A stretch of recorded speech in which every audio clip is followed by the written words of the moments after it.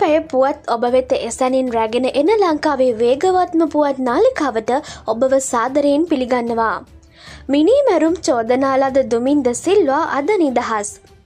මරණ දඩුවම හිමිව ඇති හිටපු පාර්ලිමේන්තු මන්ත්‍රී දුමින්ද සිල්වා මහතාට අද දින බොහෝදුරට ජනාධිපති සමාවක් ලැබෙනු ඇති බව ද මෝනින් පුවත්පත වාර්තා කොට තිබේ. ඒ සඳහා අවශ්‍ය නීති කටයුතු සම්පූර්ණ කර ඇති බව එම පුවත්පත අනාවරණය කොට තිබේ.